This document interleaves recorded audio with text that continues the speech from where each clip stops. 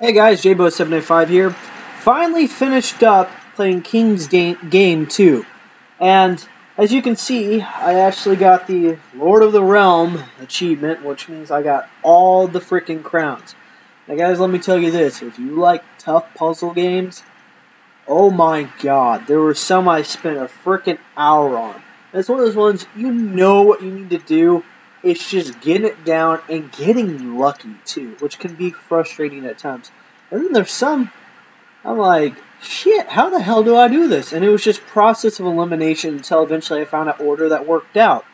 Happened to be the last one I tried actually was probably the last one I would expect that it needed to be done. So guys, I'm going to go ahead and just show you a couple things before we end up. As you can see, I got quite a few achievements. You shoot a lot of damn birds by accident, so you don't even need to try to do that.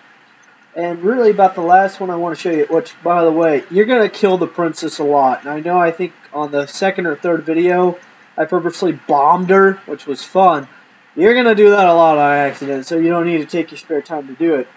So, my challenge to you is this. If you play this game, get the demigod, collect 49 achievements, and as you can see, that gives you 1 million uh, gold, which basically means you can buy as much as you want.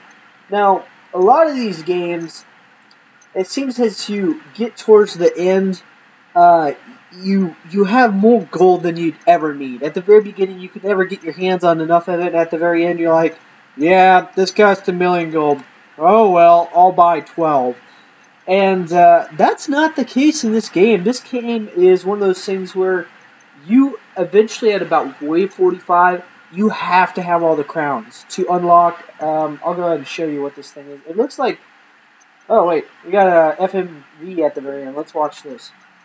Is he just gonna wink at me? Is that it?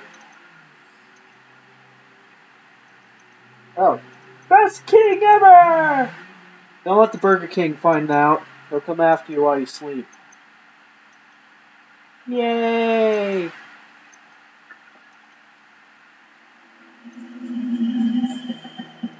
Alright. Play.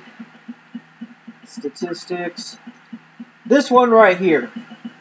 Now, pretty much what I would equivalent that one to would be like the blue turtle shell in Mario Kart. It's a bitch.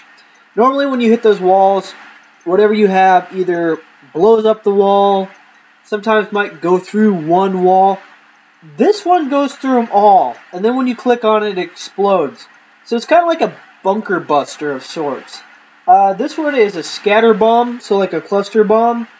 Um, what else haven't I reviewed? Uh, this one, the acid bomb. So basically, it kind of goes up, and as it rolls, it makes a size a little bit bigger than itself, and you can kill it that way. There was actually a cart level where it had a, kind of a hill, a cart, and then it rolled down with a block, and you actually had to time it perfectly to kill all the enemies in their little bunkers.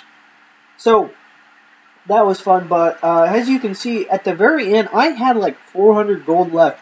And this one alone costs well over that. So I was only able to buy one of these and try to beat the game with it. Um, total levels, which I think there are 50. Only about three or four I got stuck on, but those three or four took me probably a good 30 minutes plus a piece. So, you know, it's fun. I definitely am looking forward to the next one. If they come out with the next one, I hope they come out with more weapons, more bosses, and everything else like that. But I don't know when I started this game, probably about 11 or 12 o'clock, and it's 6.30 right now. So it's a time killer, and honestly, time went by pretty fast, and I procrastinated on a lot of work I should have gotten done. So guys, I hope that you've enjoyed this video. I hope that you enjoyed my review.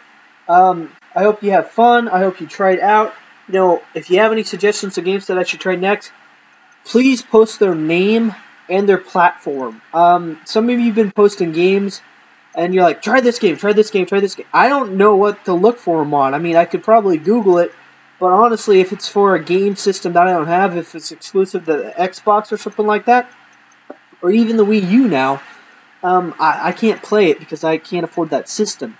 But anyways, guys, I hope you had fun. I hope that it made you laugh. I hope that it piqued your interest. If you have any questions, comments, or concerns, please post that in the comment section below.